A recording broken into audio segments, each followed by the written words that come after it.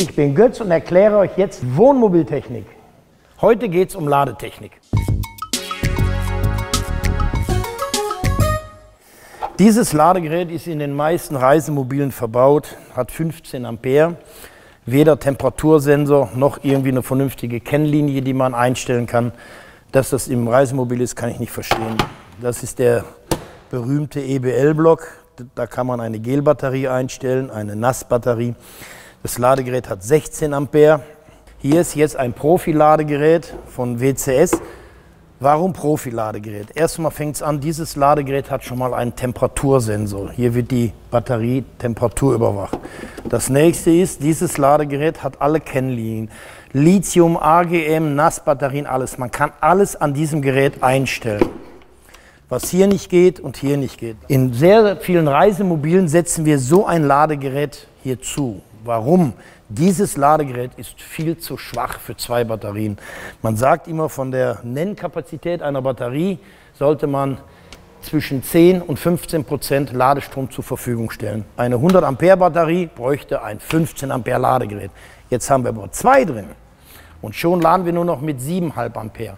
Aber auch nur, wenn im Wohnmobil keinerlei Verbraucher an sind. Ist irgendein Verbraucher an, und wir haben Fernseher, das und Pumpe und was weiß ich an, dann haben wir vielleicht noch einen Ladestrom von 9 Ampere und den müssen wir wieder verteilen auf zwei Batterien, dann haben wir 4,5 Ampere. Es funktioniert nicht. Diese sind eigentlich ungeeignet. Diese Geräte braucht man aber nicht ausbauen. Man kann zu diesem Gerät ein Profi-Ladegerät dazusetzen. Dann sieht es so aus. Dann hätten wir jetzt eine Ladekapazität von 40 Ampere und das wäre einfach für diese Batterie ganz, ganz wichtig. Ne? Der Temperatursensor, den setzen wir hier drauf, die wird überwacht und wird richtig geladen. Zum Beispiel die, die AGM mit 14,8 Volt, was sehr, sehr wichtig ist. 14,4 Volt, die nur 14,2. Warum 14,2? Weil es eine Nassbatterie ist. So sieht es aus. Bei Lithium, 140 Ampere Lithium, 180 Ampere Lithium, sieht es auch wieder ein bisschen anders aus. Und da muss ich mich immer ärgern, wenn ich auf diesen ganzen Homepagen gehe. Dann wird geschrieben, Lithium-Akku in einer Stunde geladen. Praktisch geht es gar nicht. Warum? Wie will ich denn mit einem 15 Ampere ein Akku, der 140 Ampere, wenn er leer ist, in einer Stunde laden?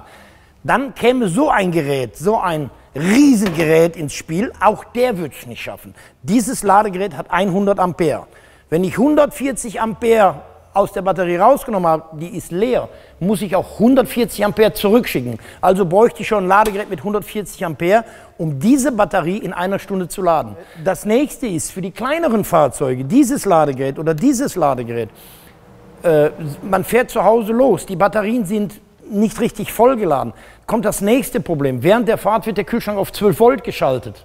Dann kriegen wir kaum noch Ladestrom nach hinten. Ja? Die Batterien werden immer leerer. Dann kommt natürlich wieder der Ladebooster ins Spiel.